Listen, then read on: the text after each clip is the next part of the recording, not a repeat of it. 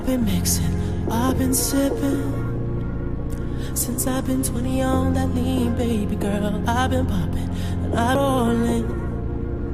Since I was 17, I've been geeking on that water. This video will be a review of this hair. I was contacted by a company in AliExpress, Modern Show Hair, and they asked if I can make a review of their hair. Then I said yes. And they sent me four bundles with a lace closure, 18 inches, 20 inches, 22, 24, and the lace closure was 16. Then I ended up using three bundles with a lace closure. And uh, they contacted me on uh, Tuesday I received the hair on Friday. I received the hair through DHL and this hair is very soft and nice. You flat this hair, color the hair, everything about this hair. I will link it in the description bar below. Stay tuned and watch how I achieve this wig.